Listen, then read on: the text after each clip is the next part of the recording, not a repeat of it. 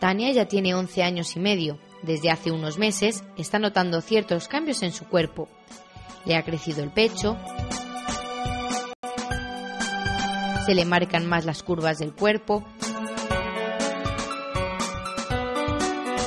le ha parecido bello donde antes no tenía. Pero el mayor cambio que le acaba de llegar es la menstruación o regla. ¿Pero por qué le ha ocurrido todo esto?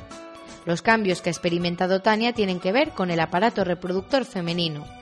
¿Quieres saber cómo funciona? Observemos el interior de Tania.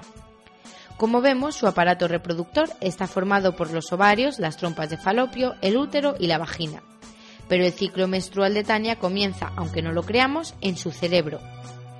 El hipotálamo y la hipófisis segregarán las hormonas encargadas del inicio de ese ciclo y las enviarán por la sangre hacia el aparato reproductor.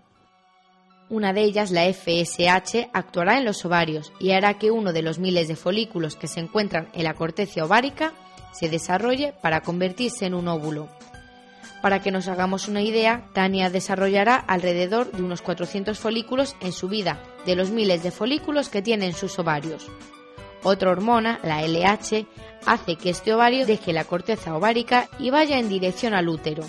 Pero la función del ovario no es solo fabricar óvulos, también libera estrógenos y progesterona, las hormonas que intervienen en la siguiente labor del aparato reproductor, preparar al útero para la llegada del óvulo y con él la posibilidad de un embarazo.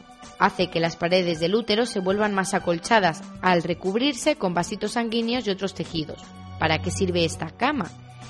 Vemos que el óvulo de Tania está listo para ser fecundado, es decir, para que un espermatozoide, producido por el aparato reproductor masculino, se introduzca en su interior y pueda desarrollarse así un nuevo bebé.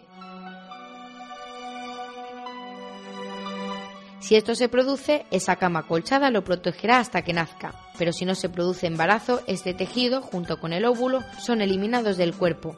Es la denominada menstruación o regla, que abandona el útero por la vagina y desde ahí deja el cuerpo de Tania. El aparato reproductor de Tania seguirá con este ciclo hasta una edad que ronde los 50 años. A esta edad los ovarios de Tania dejarán de producir estrógenos y progesterona y poco a poco ya no ovulará ni tendrá regla. A esto se denomina menopausia. Pero todavía queda mucho para que a Tania le llegue ese momento. Hasta entonces, ella ya ha comprendido cómo funciona su aparato reproductor. ¿A ti también te ha quedado claro?